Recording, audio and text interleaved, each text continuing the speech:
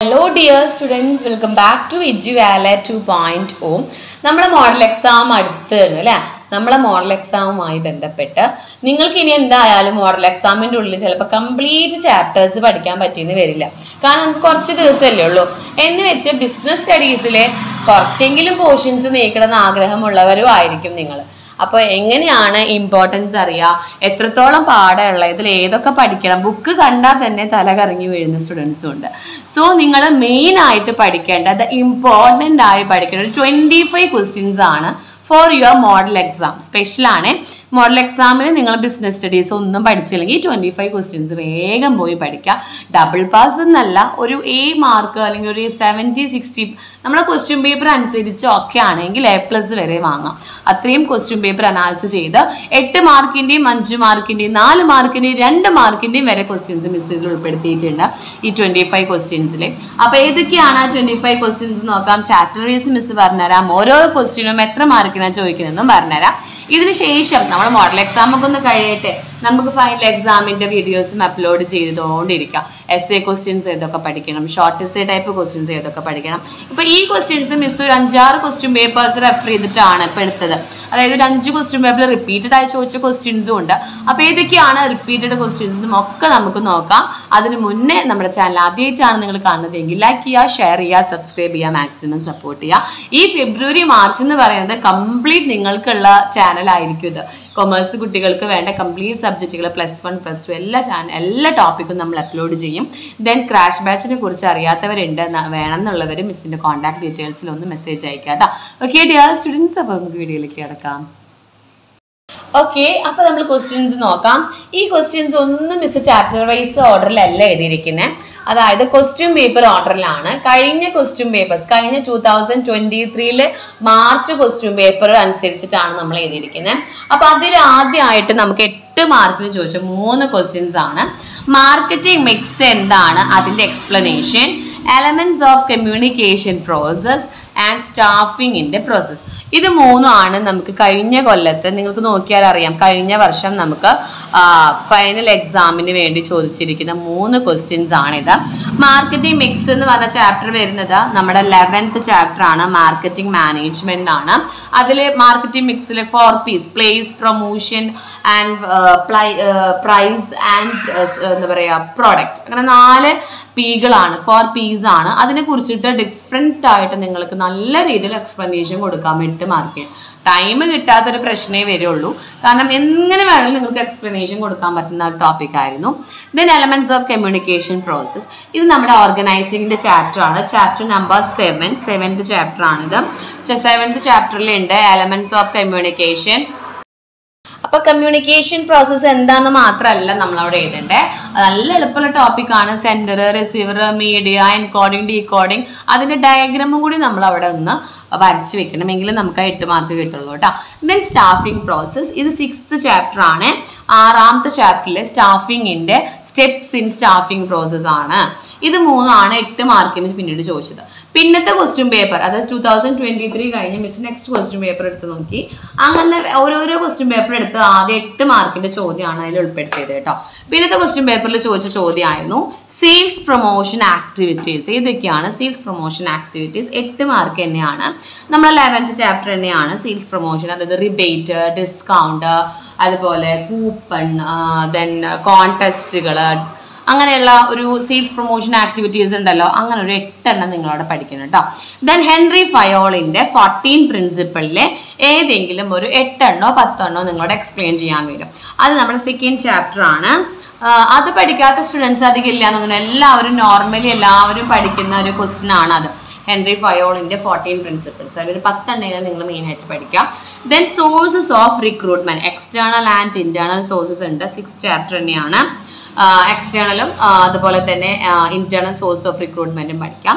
Scientific management techniques ഇത് അഞ്ച് മാർക്കിന്റെ ചോദ്യമാണ് എട്ട് മാർക്കിന്റെ ക്വസ്റ്റ്യൻസ് ഇവിടെ എഴുതിയിരുന്നു. മിസ് എന്നിട്ട് എട്ട് മാർക്ക് എട്ട് എന്ന് പറഞ്ഞതൊക്കെ എട്ട് മാർക്കിന്റെ ക്വസ്റ്റ്യൻസ് ആയിട്ട് നിങ്ങൾ പഠിക്കണം കേട്ടോ കാരണം നമുക്ക് രണ്ടെണ്ണത്തിൽ ഏതാ ചോദിക്കാന്ന് പറയാൻ പറ്റില്ല.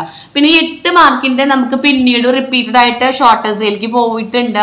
മാർക്കറ്റമിക്സ് നാല് മാർക്കിന് ചോദിച്ചിട്ടുണ്ട്. ഇത് അഞ്ച് മാർക്കിന് ചോദിച്ചിട്ടുണ്ട്. പിന്നെ പ്രൊമോഷൻ ആക്ടിവിറ്റീസ് നാല് മാർക്കിന് ചോദിച്ച ക്വസ്റ്റ്യൻ പേപ്പേഴ്സ് ഉണ്ട്. ഹെൻറി ഫയോളിന്റെ ഏതെങ്കിലും ഒരു ആറെണ്ണം എക്സ്പ്ലെയിൻ ചെയ്യാൻ പറഞ്ഞിട്ട് അഞ്ച് മാർക്കിൽ പോയിട്ടുണ്ട് ഈ ക്വസ്റ്റ്യൻ റിക്രൂട്ട്മെന്റിലെ ഇന്റേണലും മാത്രമായി ചോദിച്ചിട്ട് ഒരു ക്വസ്റ്റ്യൻ പോയിട്ടുണ്ട്. അപ്പൊ ഇത് നിങ്ങൾ മാർക്കിന് പഠിക്കുമ്പോൾ ഒപ്പം തന്നെ അത് എന്തായി? നമുക്ക് ഷോർട്ടസ്റ്റ് ടൈപ്പ് ക്വസ്റ്റ്യനിലേക്ക് പോയി. അപ്പൊ അങ്ങനെയും നിങ്ങൾ പഠിക്കുക. അങ്ങനെ നോക്കുമ്പോൾ നമുക്ക് നന്നായി ക്വസ്റ്റ്യൻസ് നിന്ന് കിട്ടും. അപ്പൊ ഈ ഇരുപത്തഞ്ച് ക്വസ്റ്റ്യൻസ് തന്നെ വളരെയധികം ധാരാളമാണ്. Then scientific management techniques five മാർക്കിന്റെ ക്വസ്റ്റ്യൻസ് ആണ്. സെക്കൻഡ് ചാപ്റ്റർ ആണ്. സെക്കൻഡ് ലെവൻത്ത് സിക്സ് എന്നൊക്കെ ഉള്ളത് ചാപ്റ്റർ നെയിം ആണ് കേട്ടോ അപ്പോൾ ഏഴ് ക്വസ്റ്റ്യൻസ് ആയില്ലേ? പിന്നീട് നിങ്ങൾ പഠിക്കേണ്ടത് ബാരിയേഴ്സ് ടു കമ്മ്യൂണിക്കേഷൻ പ്രോസസ്സ് എട്ട് മാർക്കിനാണ്. ഇത് ടഫ് ക്വസ്റ്റ്യൻ പേപ്പറിലാണ് നമുക്ക് കാണാൻ കഴിഞ്ഞത്. അതായത് നിങ്ങൾക്ക് ക്വസ്റ്റ്യൻ പേപ്പർ ടഫ് ആണെങ്കിൽ ഈ ചോദ്യം നിങ്ങൾക്ക് അവിടെ എട്ടാമത്തെ എസ് എ ക്വസ്റ്റ്യൻ പ്രതീക്ഷിക്കാം. എന്ന് വെച്ചാൽ പഠിക്കാതിരിക്കരുത്. വേഗം പോയി പഠിക്കുക. എട്ട് മാർക്കിന്റെ എസ് എ ക്വസ്റ്റ്യൻ നമ്മൾ കമ്മ്യൂണിക്കേഷന്റെ പാഠം അതായത് നമ്മുടെ സെവൻത് ചാപ്റ്റർ ഡയർ ഓർഗനൈസിങ്ങിന്റെ പാഠമാണ് കേട്ടോ then factors effective working capital നാല് മാർക്കിന്റെ ക്വസ്റ്റ്യൻ ആണ്. നമുക്കത് നയൻത്ത് ചാപ്റ്റർ ആണെന്ന് തോന്നുന്നു I think yes financial management ninth chapter ആണ്. ദെൻ റൈറ്റ്സ് ഓഫ് കൺസ്യൂമർ നാല് മാർക്കിന് ചോദിക്കാറുണ്ട്. റൈറ്റ്സ് ഓഫ് ഡെഫിനറ്റ് ക്വസ്റ്റ്യൻ ആണ്. ഇപ്പൊ പറഞ്ഞ ക്വസ്റ്റ്യൻസ് ഒക്കെ റിപ്പീറ്റഡ് ക്വസ്റ്റ്യൻ പേപ്പറിലുള്ളതാണ് ഇപ്പൊ റൈറ്റ്സ് ഓഫ് കൺസ്യൂമേഴ്സും നമുക്ക് എല്ലാ ചോദ്യ പേപ്പറും മിസ് ഒരു അഞ്ചെണ്ണത്തിലും ചോദിച്ചിട്ടുണ്ട്. നാല് മാർക്കിനും അഞ്ച് മാർക്കിനും അപ്പോൾ ഒരു ആറ് റൈറ്റുകൾ ഉണ്ട്. ഇത് നമ്മുടെ കൺസ്യൂമർ റൈറ്റിന്റെ പാടാണ് എനിക്ക് തോന്നുന്നു ട്വൽവ് ചാപ്റ്റർ ആണെന്ന് തോന്നുന്നു I think then advertisement merit and objection ഇത് നമുക്ക് എട്ട് മാർക്കിന് പോയിട്ടുണ്ട് കേട്ടോ ഇതെങ്ങനെയാണ് ചോദിച്ചതെന്ന് വെച്ചാൽ it is a paid form of non personal form of communication can you identify that explain its merits and objections എന്ന് പറഞ്ഞിട്ടാണ് ഈ ക്വസ്റ്റ്യൻ അപ്പോൾ അത് അഡ്വർടൈസ്മെന്റ് ആണ് നമുക്ക് അറിയണമെങ്കിൽ അഡ്വർടൈസ്മെന്റ് ഡെഫിനേഷൻ നമുക്ക് അറിയണം ഒരു paid form of non personal communication ആണ്. അത് ഏതാണ്? സെയിൽസ് പ്രൊമോഷൻ ആക്ടിവിറ്റി നമുക്കറിയാം മെറിറ്റുകൾ ഉണ്ട് ഒപ്പം തന്നെ ഒബ്ജെക്ഷൻസ് അതായത് എല്ലാ അഡ്വർടൈസ്മെന്റും നമുക്ക് ബെറ്റർ അല്ല. അതിന്റെ കോൺസ് ആൻഡ് പ്രോസ് അതായത് അതിന്റെ തന്നെ ദോഷങ്ങളും ഉണ്ട് ഗുണങ്ങളും ഉണ്ട് എന്ന് പറഞ്ഞിട്ട് എട്ട് മാർക്കിന് അപ്പം മെറിറ്റ് നിങ്ങൾ എഴുതണം. ഒബ്ജെക്ഷൻസ് ഒരു അഞ്ചാറെണ്ണം പോകണം ഫീച്ചേഴ്സ് ഒക്കെ നിങ്ങളവിടെ എഴുതി വെക്കണം. എങ്കിലും നമുക്ക് ഈ എട്ട് മാർക്ക് കിട്ടുള്ളൂ. നമ്മുടെ ലെവൻത്ത് ചാപ്റ്റർ ആണ് മാർക്കറ്റിംഗിന്റെ ചാപ്റ്റർ ആണ് കേട്ടോ ദെൻ കമ്മ്യൂണിക്കേഷൻ നെറ്റ്വർക്കുകൾ അഞ്ച് മാർക്കിന്റെ ക്വസ്റ്റ്യൻ ആണ്. ഇവിടെ നമുക്ക് ഗ്രേറ്റ് വൈന് ഗോസിപ്പ് വീൽ അതുപോലെ തന്നെ അങ്ങനെ ടൈപ്പുകൾ വരച്ചു വെക്കാനും വേണം കിട്ടാൻ. Then job training method on the job ട്രെയിനിങ്ങും ഓഫ് ദ ജോബ് ട്രെയിനിങ്ങും ഇത് നമ്മുടെ എന്താ പറയുക സെവൻത്ത് ചാപ്റ്റർ ആണ്. ദെൻ ജോബ് ട്രെയിനിങ് മെത്തേഡ്സ് നമ്മുടെ സിക്സ് ചാപ്റ്റർ ആണ്. നമ്മുടെ സ്റ്റാഫിംഗ് ഡയറക്റ്റിംഗ് സ്റ്റാഫിങ്ങിന്റെ ചാപ്റ്റർ ആണ് കേട്ടോ on the job training off the job training സെപ്പറേറ്റും ചോദിക്കാം. മാസ്ലോസ് നീഡ് ഹൈറാക്കി നാല് മാർക്കിന്റെ ക്വസ്റ്റ്യൻ ആണ്. നമുക്കിത് മോട്ടിവേഷന്റെ ഭാഗത്താണ് വരുന്നത്. ഓർഗനൈസിങ് തന്നെയാണ്. സ്റ്റാഫിന്റെ ഓർഗനൈസിങ്ങിന്റെ ചാപ്റ്റർ തന്നെയാണ് വരുന്നത്.